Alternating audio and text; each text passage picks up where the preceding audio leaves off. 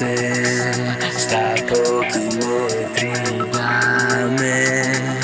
Quello che cerco e vorrei trovare la forza di fermare